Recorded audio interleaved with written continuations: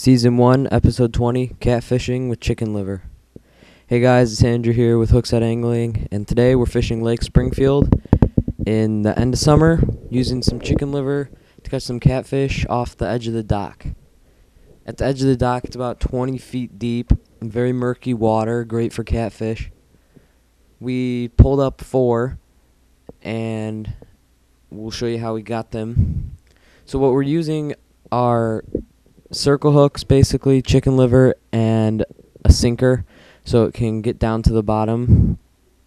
So I got one here, and there's Alec with the net. We're at his lake house fishing on his lake.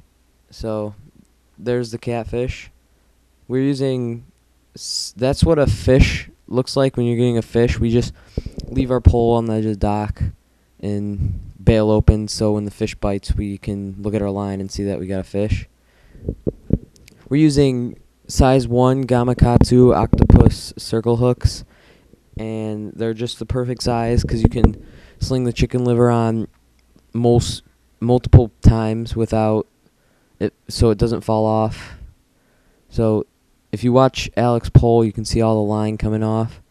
And so this catfish took him way out, right right out towards the middle of the lake, and so we weren't sure if it was coming, but if we were getting it. But then he cranked into it and he hooked it right in the corner of the mouth, and it started to swim towards us. We didn't know if he was gone, and then as soon as he got above us, he felt really heavy. He got really heavy, and we pulled him up, and he was bigger than most of the ones we caught.